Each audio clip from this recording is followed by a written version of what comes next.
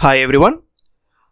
Today we will discuss about the IUPAC names of benzodiazepines. How we can give the name for the benzodiazepines? When we are going to see the IUPAC names of benzodiazepines, in few of the structures we can observe the point of saturation is indicated by 3H that is the indicated hydrogen and in few of the structures we can observe the 2H as the indicated hydrogen.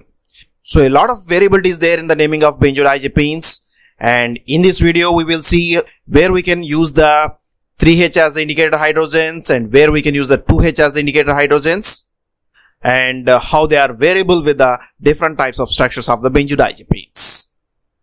So first of all let us see the common structure of benzodiazepines. So benzodiazepines, the benzene ring is going to be fused with the 7 member ring system with two nitrogens. So diaza and epine. Epine indicates a 7 member ring system. So benzodiazepines are the 6 plus 7 member ring systems.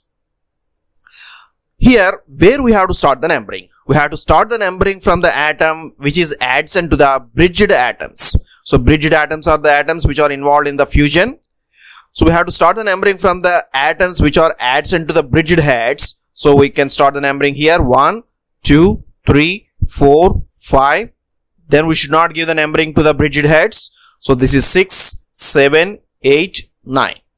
In this way, we can give the numbering to this uh, benzodiazepine ring system. Then what is the root name of this ring system?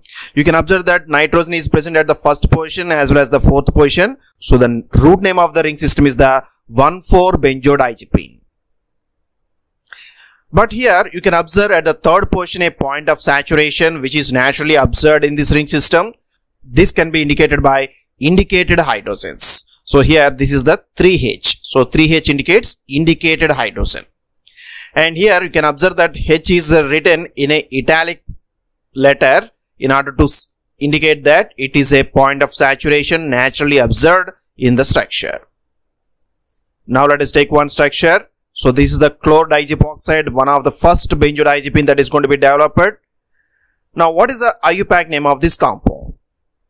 So again if we give the numbering like this, nitrogen is present at the first and fourth position. So the root name of this uh, ring system is the 1,4-benzodiazepine. But here we have to replace the E with a suffix because at the fourth position you can observe an oxygen is attached as an oxide. So this is 1,4-benzodiazepine 4-oxide. So that is the root name of this uh, compound along with the suffix. Now if we see the different groups attached at the various positions, at the second position, you can observe a group attached with a methyl amino. So it can be written as 2-methyl amino. Similarly, third position, it is saturated. So 3H. And fifth position, phenyl ring. So 5-phenyl. And seventh position, chloro. So 7-chloro. So in this way, we can give the names for the groups attached to the different positions. Then we have to arrange in the alphabetical order. So which comes first? So here 7 chloro starting with the C it comes first then 3H then uh, 2 methyl amino because it is starting with the letter M and finally 5 phenyl which is starting with the letter P. So this is the alphabetical order of uh, the various groups attached to this ring system. Now if we arrange these in the alphabetical order so the name of this compound is 7 chloro 3H 2-methyl amino, 5-phenyl, 1,4-benzodiazepine, 4-oxide. So this is the name of the chlordiazepoxide. But here we can also observe that the indicated hydrogens can be separated from the root name or they can be attached along with the root name. That means we can also write the 3H just before the 1,4-benzodiazepine term so that it is attached with the root name. So this is the name of the chlordiazepoxide. But if you see most of the benzodiazepines, they will not have any unsaturation at the first and second position, but they're having a saturation. And second position, they're also attached with a ketone group, which is actually essential for their activity. In such cases, we have to indicate the point of saturation by using the terms dihydro. So let us take one example here. So most of the benzodiazepines are having the common ring system like this. So again, if we give the numbering, the numbering is same. and you can observe the nitrogens present at the first position as well as fourth position. So the name of the ring system is 1,4-benzodiazepine. But since they are having a ketone at the second position, we have to give the suffix as 2-on. So 1,4-benzodiazepine, 2-on. Then how we can indicate the saturation because here first portion is saturated, second portion is saturated as well as third portion is saturated. So how can we indicate this? So simply we can indicate like 1 2 dihydro 3H that means first and second portion are saturated and third portion is uh, normally saturated.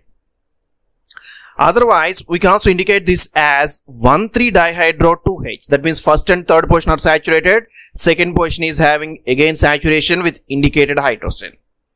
Which is correct? We can use any of these, but IUPAC suggests that we have to give the least number to the indicated hydrogen. So the first one which is having the 3H is not that much appropriate, but the second one which is having the 2H is more accurate. So in most of the IUPAC names, we will observe 1,3-dihydro-2H as the points of saturations. So now let us take one of the example. This is the one of the structure well known. This is a diazepam. What is the IUPAC name of this diazepam? Again, this is having the numbering like this with first portion as well as fourth portion nitrogen. So this is the 1,4 benzodiazepine and second portion ketone is there. So 2-on. So this is a 1,4 benzodiazepine 2-on then what are the groups attached at the different portions? First portion methyl group is there and then the point of saturation is there at the first and third position. So 1,3-dihydro and fifth position phenyl, seventh position chloro and second position hydrogen 2H. So here we have placed the indicated hydrogen just before the root name.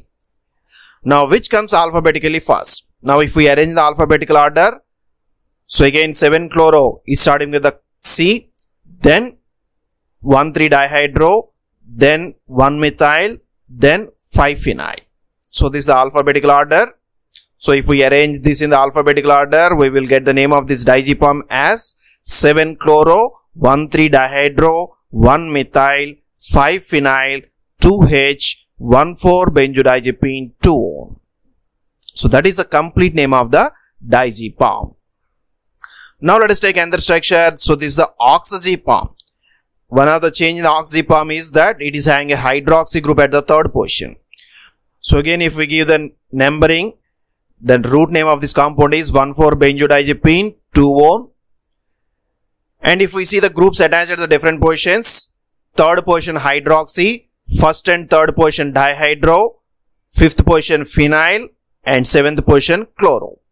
And uh, 2H is the indicated hydrogen. So if we arrange the alphabetical order, so this one chloro chloro is 1, then 1,3-dihydro is 2, hydrox is the 3 and 5-phenyl is the 4. So if we arrange in the alphabetical order, the name of this compound is 7-chloro, 1,3-dihydro, 3-hydroxy, 5-phenyl, 2H14-benzodiazepine, 2-on. Now let us see another structure. This is the lorazepam. In the lorazepam, again we can give the numbering like this, where nitrogen is present at the first and fourth position.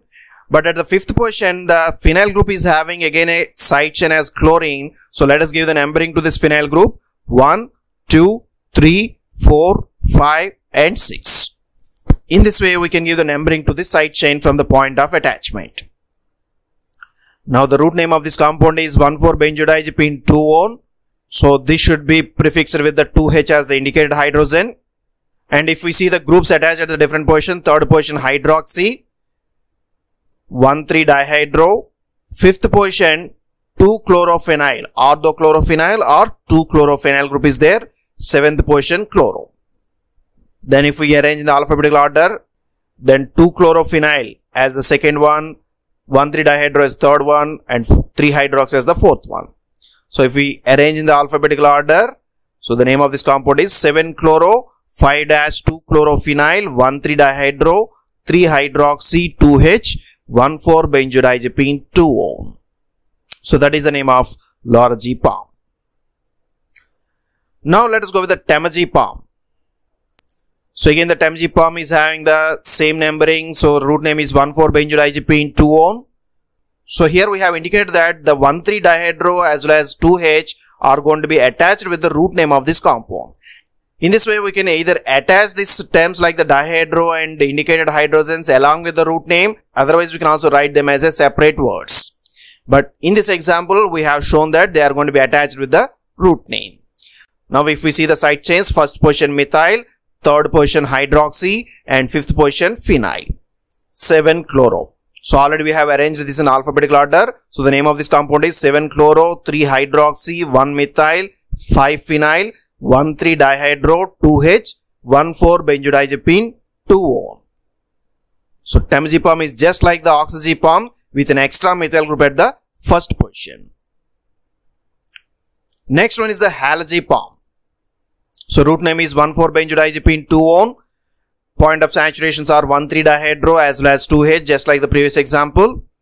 Then first position 2,2,2-trifluoroethyl. So it's simply it's a ethyl group is there where the terminal hydrogens of the ethyl group are replaced by fluorine groups. So 1 dash 222 trifluoroethyl, then 5 phenyl and 7 chloro. That is the name of halazepam. Next one is the flurazepam. So again the root name 1,4-benzodiazepine 2-one which is prefixed with the 1,3-dihydro as well as 2H. First position what is the group present? First position you can observe an ethyl group is present which is attached with the amine and this amine is again diethyl substituted. So first position 2 dash diethyl amino ethyl group is present. Fifth position 2 fluorophenyl group is present and seventh position chloro group is present. So again we have arranged in the alphabetical order. So this is the name of the flurazepam. Next one is the nitrazepam. Nitrazepam is having a nitro group at the seventh position so again the root name is 1,4-benzodiazepine 2-one which is prefixed with the 1,3-dihydro as well as 2H. But at the fifth position you can observe a phenyl group and seventh position nitro group is present. So that is the name of the nitrazepam. Next one is the clonazepam. So again it is having the root name 1,4-benzodiazepine 2-one, 1,3-dihydro and 2H are the prefixes. Then at the fifth position, it is having the 2-chlorophenyl group and seventh position, nitro group is present. But here the chlorophenyl is starting with the letter C, so it comes alphabetically first, then the nitro group. So that is the name of the clonazepam. In this way, we can write the IUPAC names of the benzodiazepines, where we can indicate the point of saturations by the terms like the dihydro as well as the indicated hydrogens. But always we have to give the least number to the indicated hydrogens. So we are going to use the 1,3-dihydro-2H as the point of saturations. And they can be used as a separate words or they can be attached with the root name of the compound. So both are allowed by the IUPAC nomenclature. But it's always preferred that these terms are attached with the root name of the compound. So that's about this uh, IUPAC names of benzodiazepines. Thank you for watching this video.